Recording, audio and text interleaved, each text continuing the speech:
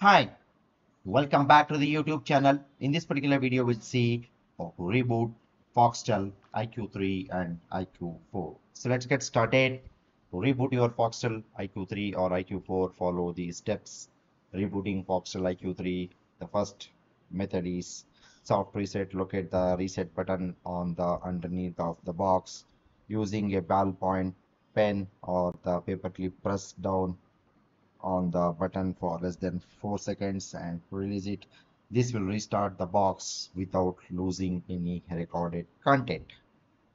The second one is power cycle. Unplug the power cord from the back of the box. Wait for at least one minute. Plug the power cord back in and turn the box on.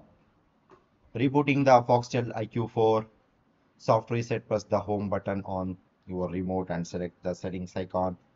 Select advanced settings and then press numbers 0611 on your remote keypad followed by select button from the new menu select installer setup and confirm the full system reset.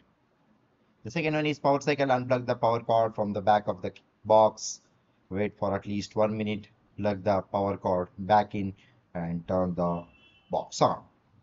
Okay so that's all about this particular video guys. I hope you like this particular video. Please do subscribe to the youtube channel. See you and all. Thank you. Bye bye